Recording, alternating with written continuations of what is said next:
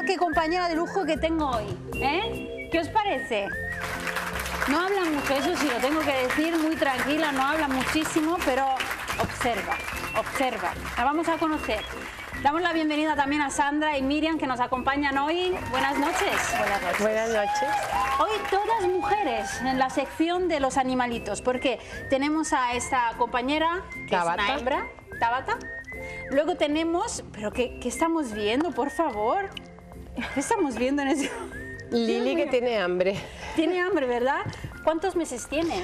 Uno. Un mes. Claro, un mes tiene hambre, entonces está, está comiendo, así que la, la dejamos eh, tranquila. Y está la mamá. La mamá. ¿Qué se llama? Tama. Tama. Y luego tenemos otra señorita que se llama, un poquito inquieta, esta es Bruma. Bruma. ¿Pero por qué está inquieta? Porque claro, está el, eh, lo están los dueños detrás de las cámaras y ella está pendiente por si acaso se van, porque claro, no se quiere separar. Está su casa de acogida y está pendiente. A ver, eh, ella está en casa de acogida. Ella está Todas. en casa de acogida. Todas. Todos están en Mm. casa de acogida. Entonces necesitan una familia estable, Sí. ¿no? Vamos a hablar un poquito de, la- de las historias de estas, eh, mm, estas perritas. A vale, ver, pues ¿por si dónde empezamos? Comenzamos con Tabata, Me parece muy bien. que es una historia triste, como muchas de las que hemos contado aquí. Sí, ya, ya, Sí, ya sé. es una perra que vivía con una señora mayor, tenía 17 perros Uh, y los trajeron todos para la perrera. ¿Todos? Porque- sí. Entonces eh, eh, Scooby nos ayudó y a sacar unos muchos y, y nosotros nos quedamos con esta porque parió. Eh, tuvo unos cachorritos, uno nació muerto. Yo conté la historia hace unos días sí, me acuerdo. que no, no lo pude recuperar y los otros tres acabaron muriendo porque ya tenía una infección de útero y les pasó la- a, a la leche. Ah. La enfermedad, Sí, vale. Entonces murieron los otros. Total que ha tenido un trauma la pobre, horrible. Pero ahora está bien. Está fenomenal en su casa de acogida Sí. y muy saludable y muy bien. Se ha operado, está recuperada la operación y está en perfecto estado. Lo que Lo pasa que es tiene que- un poquito de miedo porque, claro, Tiene miedo, sí, ahora hablamos también del calendario, no te preocupes, lo dejo aquí, ¿vale? Si no te importa. Lo que necesita eh, en concreto es eh, mucho cariño porque se tiene que hacer un poquito de, de terapia para Claro, volver a ser un perro claro. feliz. Entonces necesita una familia que Sí. eh, sea una familia estable porque de momento está en casa de acogida, ella va paseando y entonces si queréis podéis poneros en contacto con Propatas. Pero seguimos, seguimos, ¿para dónde vas? Vamos a ver, ¿te quieres esconder? Es que es muy tímida, ¿eh? muy muy tímida. Seguimos con estas dos perritas. Estas dos aparecieron también en la perrera con Sí. otras dos, una mami y otra bebé, un poquito más grande que esta. Sí. Y pues mm, no sé, también un abandono y son pequeñas, es una perra joven, va a quedarse así ya porque ya no crece más. Y esta pues no sabemos quién es el padre, pero su madre es muy pequeña. Muy pequeña, cual- no sé. ¿has Y, es una comer? pulga. Eso es, porque es, una- que no la quería coger porque estaba comiendo. Es una pulguita que va a quedarse enana. Pues se va a quedar muy pequeñita porque la madre es pequeña y muy tranquila.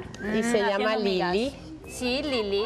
Lili que es la, la última que, que quedó prácticamente de, de su camada porque vosotros No, la habéis solo, solo estaba uno y uno. Uno y uno, nada más. Esta con una y la otra que es también chiquitita, que eh, Sí. todavía no tiene ni casa de acogida, con otro bebé un poquito más grande que este.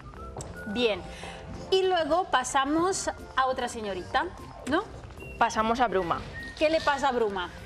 Pues Bruma es una mestiza de dálmata, como veis, Sí. y también fue rescatada de la perrera con 10 mesecitos. Ahora llegará al añito por ahí. Y bueno, pues sigue buscando una casita. Hasta ahora no ha tenido tiempo. De momento Y- está en casa de acogida, Sí. a ver si encuentra también una, una familia estable que la pueda Sí, querer. que la está deseando ya. Ya la toca, que lleva mucho tiempo esperando. Ya, ya lleva mucho tiempo esperando. Les Sí. queremos recordar que se acerca la Navidad, entonces ya uno empieza a preparar los regalos, eh, empieza a pensar en qué tipo de regalo uno puede hacer para sorprender a los niños. Os aconsejo realmente de hacer regalos como una consola o algo así, un juguete material, en vez de regalar unos animales que luego eh, no, no van a tener eh, en cuenta como, como animales, sino que como como juguetes, porque los niños realmente no se hacen cargo de los animales. Entonces, quien se hace cargo de los animales tienen que ser los padres. Si vosotros no tenéis tiempo de haceros cargo de los animales, entonces no utilicéis a los animales como objetos y como regalos. Pero pero si queréis ayudar a los animales, que eso sí que está bien, podéis ayudar a las asociaciones de eh, Valladolid y provincia que eh, están eh, presentes y que sí os pueden aconsejar y podéis poneros en contacto con ellos porque sí que ellos tienen otros tipos de regalos. Por ejemplo, por ejemplo, para empezar un año nuevo, un calendario, un calendario como Un este, calendario. ¿no? Sandra, explícame.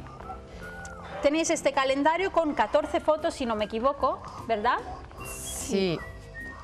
A ver, 12, 13 me parece. 13, más o menos, unas 13 fotos donde aparecen todo tipo de animalitos, como, Sí. bueno, todo tipo no, la verdad es que yo he visto y están perros y gatos. Sí, ¿no? son todos per- animales de propatas. Sí. Unos ya están adoptados y otros están para adoptar.